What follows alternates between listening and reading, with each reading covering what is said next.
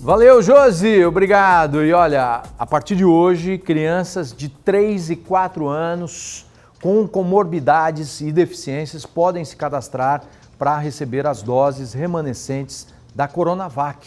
Quem tem informações para a gente é a Larissa Lima.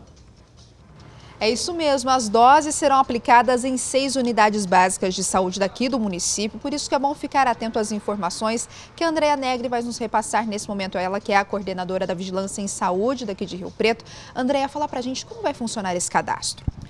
As doses que a gente está aplicando em adultos de Coronavac nessas seis unidades, geralmente sobra no final do dia, que a gente chama de doses remanescentes. Então, abriu o frasco, sobraram duas, três doses, a gente está abrindo esse cadastro para os pais fazerem nessas unidades e aí o gerente da unidade, o responsável, vai estar tá entrando em contato com esses pais, chamando as crianças para tomar essas doses que sobraram do dia, para que a gente não tenha per... não, não percamos mesmo né, nenhuma dose da, da vacina.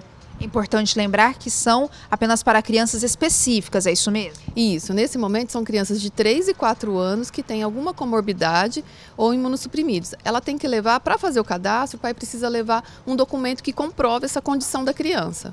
O município vai receber doses para esse público ainda, André? Sim, o Ministério vai né, encaminhar para os estados e os estados vão repassar aos municípios. Nesse momento, é, não temos dose específica para essa faixa etária. Nós realmente estamos otimizando doses da outra faixa etária para as crianças que a Anvisa aprovou o uso é, agora em julho. Só para a gente relembrar o que, que é necessário levar para conseguir fazer esse cadastro esse documento, então, que comprove que a criança tenha alguma comorbidade ou mesmo imunossuprimido, e também o documento da criança, para que a, faça o cadastro na unidade ali mais próxima da sua residência, em uma dessas seis unidades.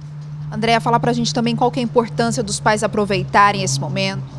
É importante porque assim, essa criança é, tem agora a oportunidade de receber uma proteção a mais. E crianças de 3 e 4 anos, muitas delas estão em escolinhas, em creches, então é importante sim é, que os pais garantam essa proteção para os seus filhos que está sendo disponibilizada.